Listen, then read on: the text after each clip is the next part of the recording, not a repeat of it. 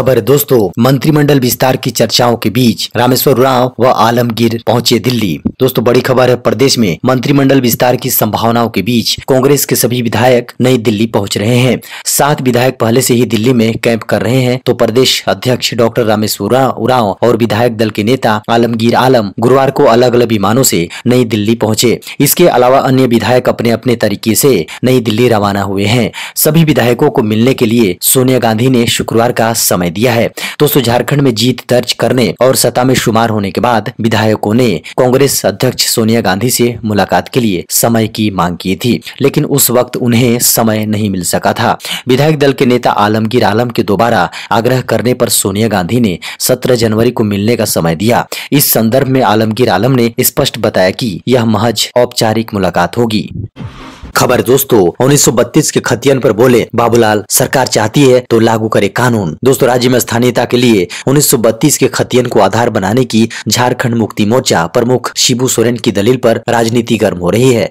गुरुवार को झारखंड विकास मोर्चा प्रमुख बाबूलाल मरांडी ने भी इस पर बोलने की बजाय निर्णय लेने की नसीहत नवगठित सरकार को दी। उन्होंने कहा की शिबू सोरेन यह निर्णय सरकार को करने दें। इसमें किसी प्रकार का दबाव भी नहीं है, सिर्फ़ बातें कहने से दबाव बढ़ता है।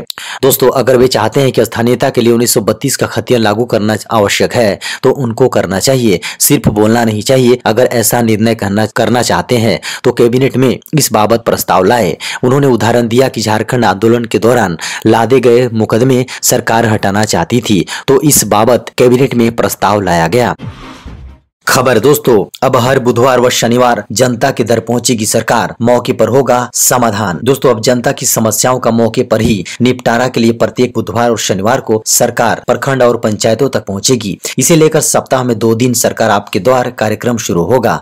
मुख्यमंत्री हेमंत सोरेन के आदेश पर इस कार्यक्रम को शुरू करने का निर्देश मुख्य सचिव डॉक्टर डी के तिवारी ने सभी उपायुक्तों को दिया। मुख्य सचिव गुरुवार को प्रोजेक्ट भवन में उपायुक्तों के साथ वीडियो कॉन्फ्रेंसिंग कर रहे थे। दोस्तों, मुख्य सचिव ने कहा की सरकार ने तय किया है कि जनता अपने कार्यों के लिए कार्यालयों का चक्कर नहीं काटेगी, बल्कि अधिकारी खुद उनके पास जाकर उनकी समस्याएँ सुनेंगे और मौके पर ही उसका समाधान भी करेंगे। जो कार्य मौके पर नहीं निपटाए जा सकते उनके लिए एक तय सीमा सीमा के भीतर समाधान कर संबंधित व्यक्ति को उनके फ़ोन नंबर पर सूचित किया जाएगा। इसके तहत सभी उपायुक्त, बुधवार को तथा उप विकास आयुक्त शनिवार को प्रखंड या पंचायत मुख्यालय जाकर इस कार्यक्रम में शामिल होंगे।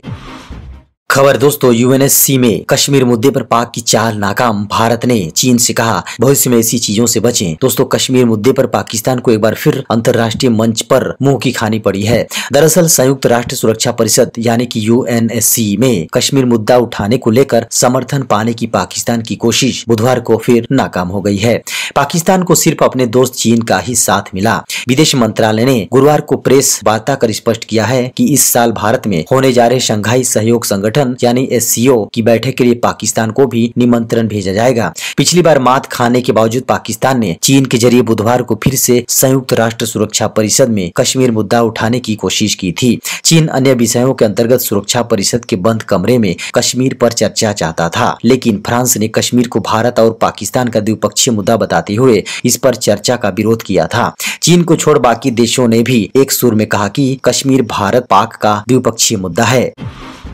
खबर दोस्तों, कोहरे के चलते खड़ी मालगाड़ी से टकराई ट्रेन, कई यात्री घायल, हेल्पलाइन नंबर जारी। दोस्तों, खबर है मुंबई से भुवनेश्वर जा रही लोकमान्य तिलक एक्सप्रेस, ओडिशा में कटक के पास गुरुवार सुबह भारी कोहरे के बीच एक मालगाड़ी से टकरा गई, जिससे यात्री रेलगाड़ी के पाँच डिब्बे पटरी से उतर गए एवं तीन अन्य डिब्बे असंतुलित हो गए, जिससे कम से कम पंद्रह यात्री घायल हो गए। रेल अधिकारियों ने पहले बताया था कि हादसे में पच्चीस यात्री घायल हुए हैं, लेकिन बाद में घटनास्थल पर पहुँचे अधिकारियों ने बताया कि चार लोग गंभीर रूप से घायल हुए हैं और 11 लोगों को मामूली चोटें आई हैं। गंभीर रूप से घायलों को कटक मेडिकल कॉलेज में भर्ती कराया गया है सभी यात्री खतरे से बाहर बताए जा रहे हैं खबर दोस्तों, धोनी ने दिए वापसी के संकेत। झारखंड रणजी टीम के साथ शुरू किया अभ्यास। दोस्तों, बड़ी खबर है, बीसीसीआई की अनुबंध सूची से बाहर किए गए पूर्व भारतीय कप्तान महेंद्र सिंह धोनी ने अपने भविष्य को लेकर लगाई जा रही अटकलों के बीच गुरुवार को झारखंड रणजी टीम के साथ अभ्यास शुरू कर दिया। यह अड़तीस वर्षीय खिलाड़ी रांची में अपने घरेलू टीम के नेट अभ्यास सत्र के दौरान उपस्थित था। इस तरह उन्होंने आगामी इंडियन प्रीमियर लीग के लिए खुद को तैयार रखने के संकेत भी दे दिए। इसी दिन बीसीसीआई ने उन्हें केंद्रीय अनुबंध वाले खिलाड़ियों की सूची से बाहर किया। झारखंड टीम प्रबंधन के करीबी सूत्रों ने कहा, यहाँ तक कि हमें भी पता नहीं था कि वह हमारे साथ अभ्यास के लिए आ रहे हैं। यह सुखद आश्चर्य था। उन्होंने कुछ देर तक बल्लेबाजी की। उन्होंने कहा, हमें उम्मीद है कि वह नियमित तौर पर टीम के साथ अभ्यास करेंगे। उनकी उपस्थिति से ही खिलाड़ियों को मदद मिल सकती है। धोनी अपने अभ्यास के लिए नई गेंदबाजी मशीन लेकर भी आए। झारखंड की टीम ने जहाँ लाल गेंद से अभ्यास किया, वहीं धोनी ने सफ़ेद गेंद से ही अभ्यास करेंगे। झारखंड अपना अगला मैच रांची में रविवार से उत्तराखंड के खिलाफ खेलेगा। धोनी ने 9 जुलाई को भारत के विश्व कप सेमीफाइनल में न्यूजीलैंड से हारने के बाद कोई प्रतिस्पर्धी मैच नहीं खेला है। खबर है दोस्तों, पुणे से जयपुर जा रहे इंडिगो विमान में फुल इमरजेंसी घोषित, मुंबई में की आपात लैंडिंग। दोस्तों, खबर है, इंडिगो एयरलाइंस के पुणे से जयपुर जा रहे विमान में उस समय हड़कंप मच गया, जब उड़ान भरने से फ़ौरन बाद इमरजेंसी घोषित कर दी गई। आपात स्थिति को देखते हुए विमान को तुरंत मुंबई के लिए डायवर्ट कर दिया गया। आधिकारिक बयान जारी कर कहा की आज सुबह चार बजकर छब्बीस मिनट पर पुणे जयपुर उड़ान के लिए पूर्ण आपातकाल घोषित किया गया, जिसे चार बजकर तैतालीस मिनट पर वापस ले लिया गया। यह फ़्लाइट सुबह चार बजकर छत्तीस मिनट में मुंबई से सुरक्षित रूप से उतरी। कंपनी ने बताया कि फ़्लाइट के दौरान पायलट को इंजन वाइब्रेशन मैसेज मिला, जिसे देखते हुए इसे मुंबई में उतार दिया गया। दोस्तों, इंडिगो ने बताया कि मुंबई एयरपोर्ट पर फ़्लाइट की जाँच चल रही है। सभी यात्रियों को दूसरी फ़्लाइट से जयपुर भेजा जा रहा है। बता दें कि नियो विमान को लेकर इंडिगो एयरलाइन को नागर विमानन महानिदेशालय, यानी कि डीजीसीए से चेतावनी भी मिल चुकी है। डीजीसीए ने इंडिगो से पुराने A three two zero neo विमानों के स्थान पर बेड़े में नए A three two zero neo विमान शामिल करने को कहा है।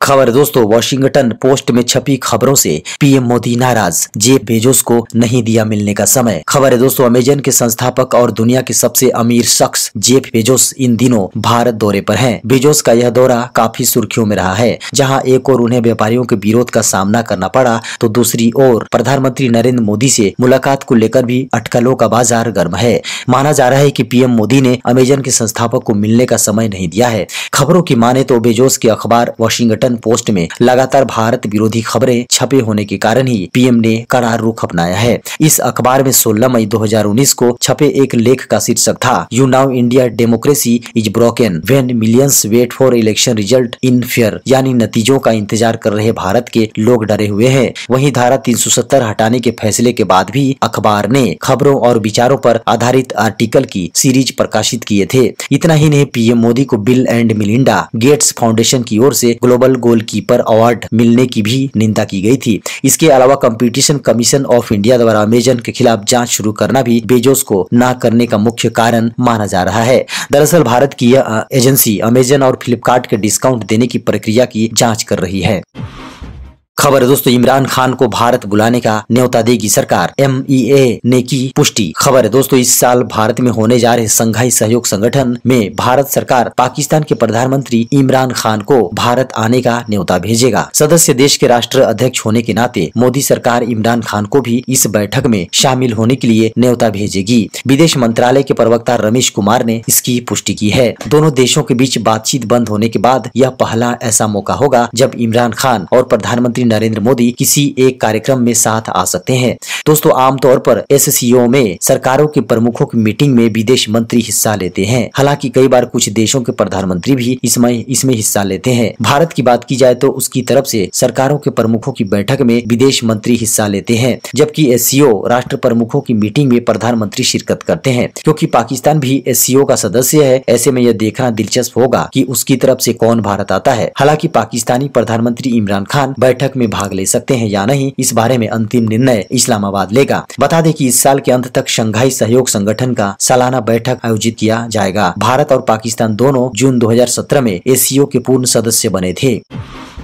खबर दोस्तों, ट्रंप ने इराक से कहा, अमेरिका बाहर निकला तो बर्बाद हो जाओगे। अमेरिका के राष्ट्रपति डोनाल्ड ट्रंप ने इराक को चेतावनी देते हुए कहा है कि अगर अमेरिका उनके देश से बाहर निकाल निकला तो बर्बाद हो जाओगे। गौरतलब है कि ईरानी टॉप कमांडर कासिम सुलेमानी की मौत के बाद इराक ने अमेरिकी फौज को देश से बाहर जाने की बात कही थी। इराक अब अपनी उस गलती पर पछता रहा है जो उसने 2014 में की थी। ज्ञात हो कि इसी वर्ष 2014 में इराक ने हावी होते आतंकवाद के खात्मे करने के लिए अमेरिकी फौज को अपनी ज़मीन सौंपी चुकी थी। लेकिन अब इराक को ये डर सताने लगा है कि कासिम की मौत उस पर भारी पड़ सकती है। वहीं दूसरी बात ये भी है कि वह कहीं न कहीं ईरान से अब किसी भी सूरत से दो दो हाथ करने की स्थिति में नहीं है। इसके लिए न तो उनके, उसके आर्थिक हालात अच्छे हैं और न ही उसकी सेना इतनी बड़ी और ताकतवर है कि वह ईरान का मुकाबला कर सके। ईरान से युद्ध में उलझा कर वह अपने ही पाव पर कुल्हाड़ी मारने का काम नहीं करेगा। खाड़ी युद्ध में वह इसका परिणाम काफ़ी करीब से देख चुका है।